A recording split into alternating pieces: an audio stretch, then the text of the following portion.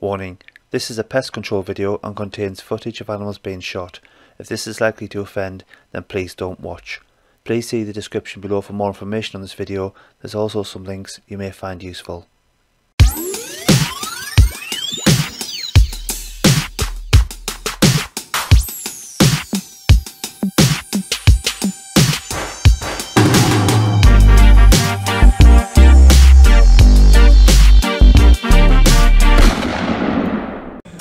Welcome back. Where have you been?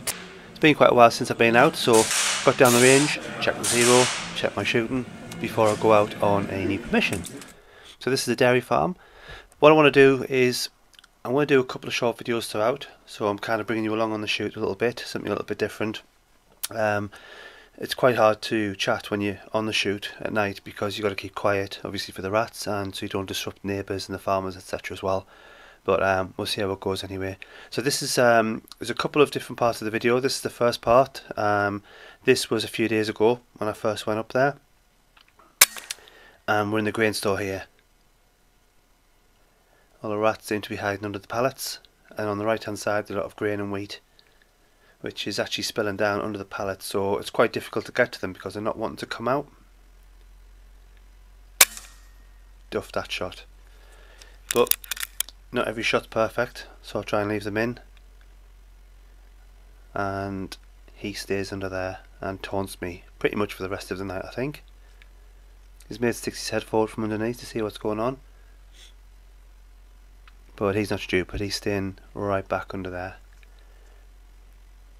Not sure if this is the same chap or not but he sticks his head out a little bit too far gets a little bit too brave and gets a pellet in it he kicks back underneath. You can hear the tails flashing on the underside of that pallet. Now this guy, not sure what he's playing at. He's coming right the way out, climbing all up this pile of wheat. What on earth for, I don't know. But I'm not going to take a shot on him unless I can get an outright kill because I don't want him to bleed all over that wheat. But unfortunately, I'm a little bit too late. He disappears. Very, very frustrating. Just scanning around there. Seeing how he's disappeared. Oh, oh, he's his friend. I'm going for an upper body shot here. The reason being, I'm trying polymags here, and that's just absolutely destroyed him, knocked him straight down. Very happy with that. Back under the pallets, and oh, who put that machine there? I wonder if he's drunk. Uh, just hanging around there, having a quick look.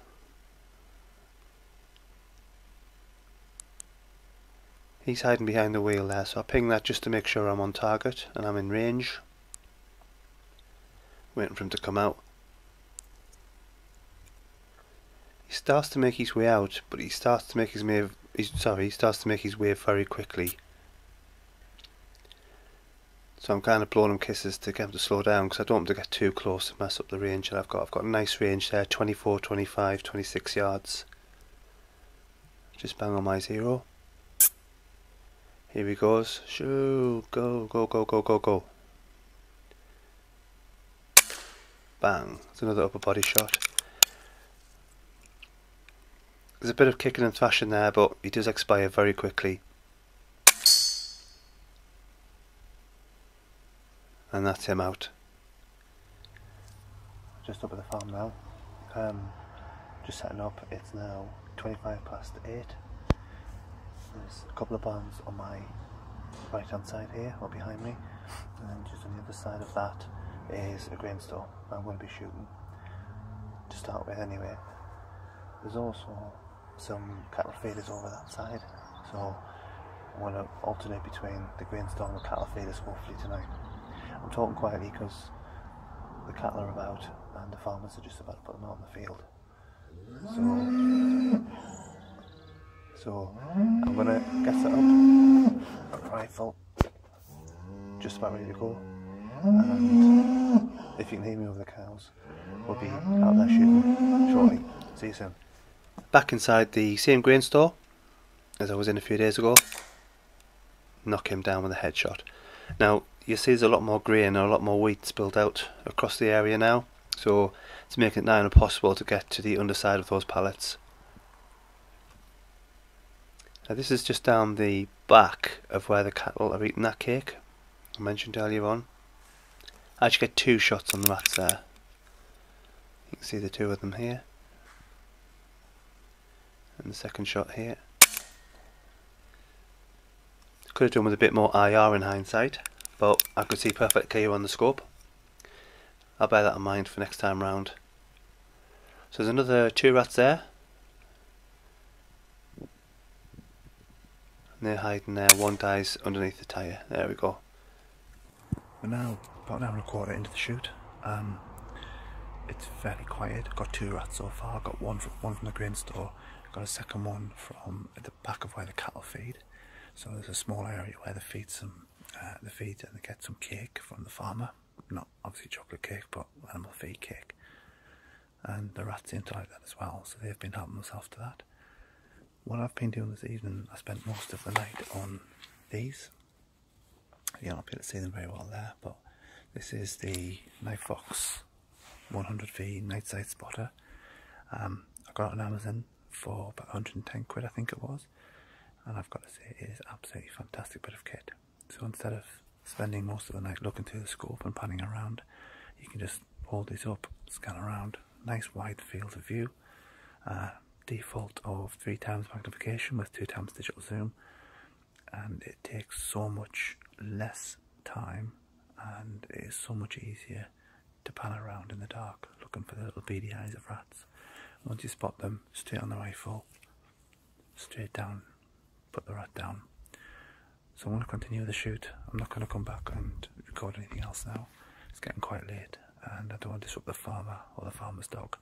So I'll crack on and I'll wrap the video up in, in probably a couple of hours. Now, the Nightfox 100V doesn't have a record facility, but for the price, I couldn't really justify buying one to record because the ATN scope that I use does all the recording that I need. I just really needed a spotter. So what I did was I just chucked my mobile phone on the back here. That's why it looks like you're looking down a tunnel. This is on the first level illumination on infrared, but I wanted to give you an idea of what I see through the scope.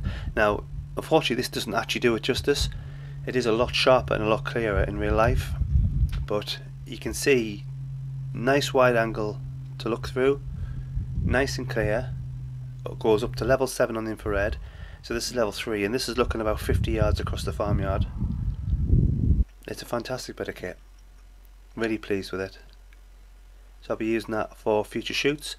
It means that I don't have to be panning around like this when I'm shooting. I can keep the rifle down, save the battery on the IR illuminator, save the battery on the scope, and it obviously it's a lot safer because I haven't got the rifle pointing around in the air.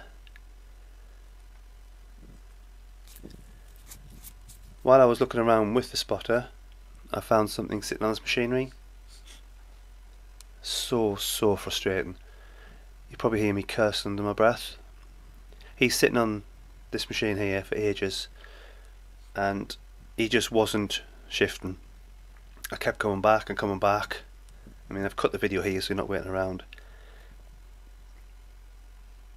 I've left this in just purely to show you sometimes the patience you've got to have when you use air rifles and the frustration that you sometimes have. So for example here, after about 15-20 minutes he jumps down, boom, gone. You kidding me, right? He's just disappeared in a flash. Have a look on the wheat pile to the right. He's not showing his face. He's underneath there, filling his face. So as I said, the patience you've got to have sometimes when you're shooting.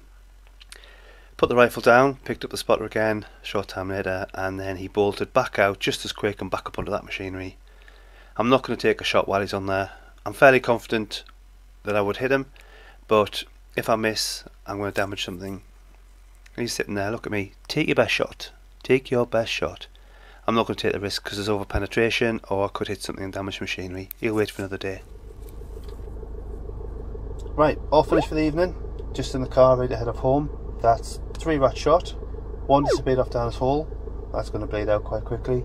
The other two were recovered and put on the mucking for the farmer. Those three plus four from a few nights ago, seven altogether from his permission.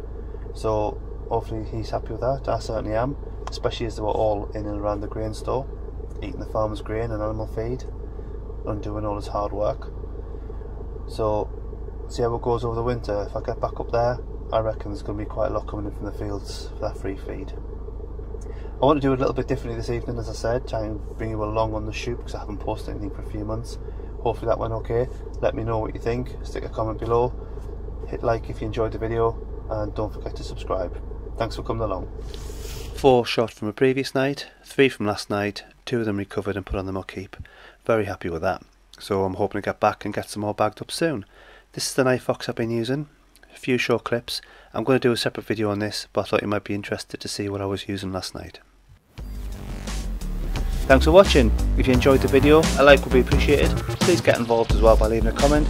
And of course, don't forget to subscribe so you don't miss future videos.